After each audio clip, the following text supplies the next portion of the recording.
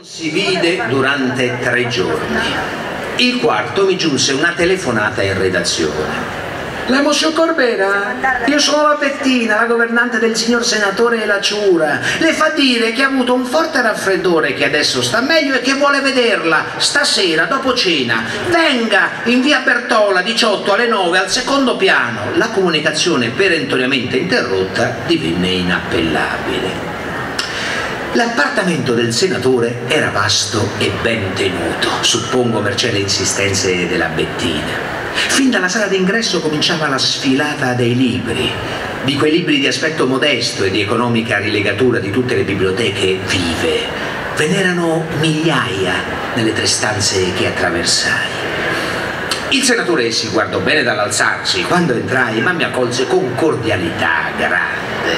Stava meglio, anzi del tutto bene, e contava di rimettersi in circolazione non appena l'ondata di gelo che in quei giorni pesava su Torino si fosse mitigata. Mi offrì del vino resinoso cipriota era tanto di buon umore che giunse persino a scusarsi delle proprie scandescenze nell'Ade. Mm, lo so, Corbera, sono stato eccessivo nei termini, per quanto credimi, moderato nei concetti. Non ci pensare più. Io non vi pensavo davvero, anzi mi sentivo pieno di rispetto per quel vecchio che sospettavo di essere quanto mai infelice, malgrado la sua carriera trionfale rifiutò di farmi vedere la biblioteca, tutta roba classica che non può interessare uno come te, moralmente bocciato in greco. Ma mi fece fare il giro della stanza nella quale eravamo, che era poi il suo studio. Vi erano pochi libri, ma in compenso alle pareti vi erano enormi fotografie a grandezza naturale di statue greche arcaiche. E non le solite fotografie che tutti noi possiamo procurarci, ma esemplari stupendi, evidentemente richiesti con autorità ed inviati con devozione dai musei di tutto il mondo.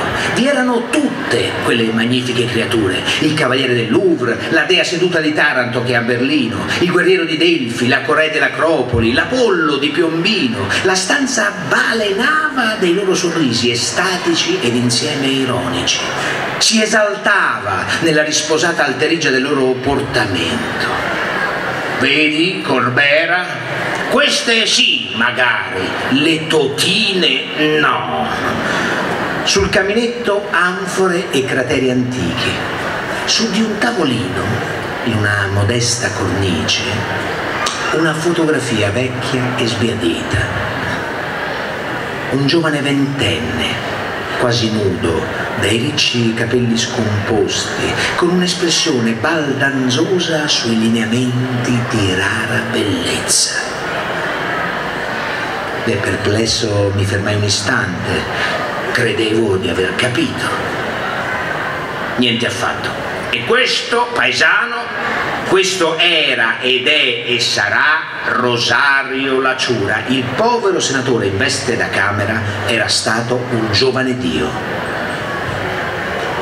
Prima che me ne andassi mi mostrò una lettera in francese del rettore dell'Università di Coimbra che lo invitava a far parte del comitato d'onore del congresso di studi greci che in maggio si sarebbe svolto in Portogallo. Sono molto contento mi imbarcherò a Genova su Rex insieme ai congressisti francesi, svizzeri, tedeschi. Come Odisseo mi turerò le orecchie per non sentire le fandonie di quei minorati e saranno belle giornate di navigazione. Sole, azzurro, odor di mare.